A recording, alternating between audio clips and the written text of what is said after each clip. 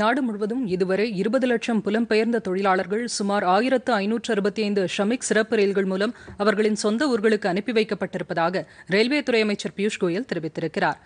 இது தொடர்பாக அவர் வெளியிட்டுள்ள டுவிட்டர் பதிவில் தொழிலாளர்களை அழைத்து வருவதற்காக உத்தரப்பிரதேசம் எண்ணூற்று முப்பத்தி ஏழு ரயில்களையும் பீகார் நானூற்று இருபத்தி எட்டு ரயில்களையும் மத்திய பிரதேசம் நூறு சிறப்பு ரயில்களையும் இயக்க அனுமதி அளித்திருப்பதாக குறிப்பிட்டுள்ளார்.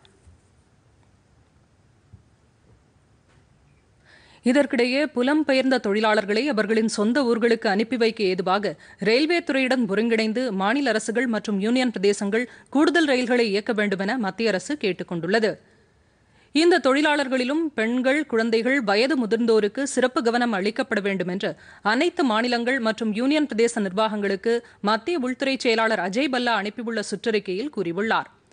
கொரோனா தொற்று மற்றும் அதனால் வாழ்வாதார இழப்பு காரணத்திற்காக பெருமளவு தொழிலாளர்கள் தங்களின் சொந்த மாநிலங்களை நோக்கி இடம்பெயர்ந்து வருவதாக அவர் அதில் குறிப்பிட்டுள்ளார்.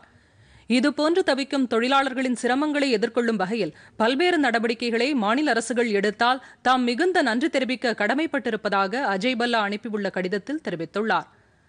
தொழிலாளர்கள் ஓய்வெடுக்கும் வரை சுகாதார வசதிகள் உணவளித்தல் அவர்களின் உடல்நிலையை பராமரித்தல் ஆகிய ஏற்பாடுகளை மாநில அரசுகள் செய்து தர வேண்டும் என்று அவர் வலியுறுத்தியுள்ளார்.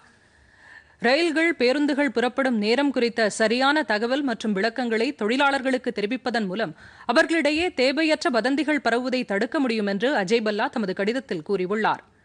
பெண்கள் குழந்தைகள் முதியோருக்கு சிறப்பு போக்குவரத்து வசதி ஏற்படுத்தி கொடுத்து அவர்களை பாதுகாப்பாக அனுப்பி வைக்க மாநில அரசுகள் ரயில்வே துறையுடன் இணைந்து நடவடிக்கை எடுக்க வேண்டும் என்று அவர் கேட்டுக் கொண்டுள்ளாா் தன்னார்வலர்களின் உதவியுடன் கூடுதல் பேருந்துகளை இயக்கி தொழிலாளர்கள் சொந்த ஊர்களுக்கு செல்வதை மாநில அரசுகள் உறுதிப்படுத்த வேண்டும்.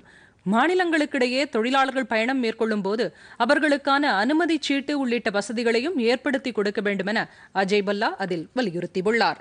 பொதிகை செய்திகளை யூடியூபில் தமிழ் நியூஸ் தூர்தர்ஷன் என்ற சேனலிலும் ட்விட்டரில் Tamil news Doordarshan at DD news Chennai என்ற பக்கத்திலும் காணலாம்.